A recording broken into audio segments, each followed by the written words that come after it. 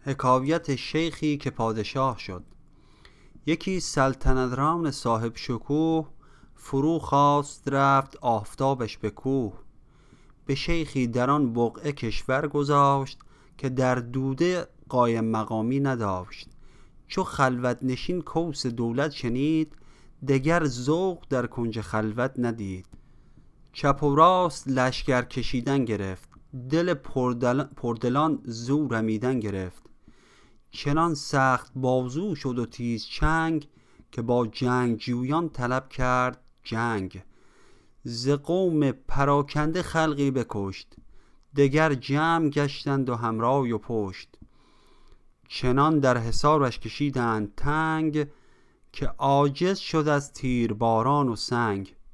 بر نیک مردی فرستاد کس که صعبم فرو مانده فریاد رس. به همت مدد کن که شمشیر و تیر نه در هر وغایی بود دستگیر. چو بشنید عابد بخندید و گفت چرا نیم نانی نخورد و نخفت؟ ندانست قارون نعمت پرست که گنج سلامت به کنج اندر است.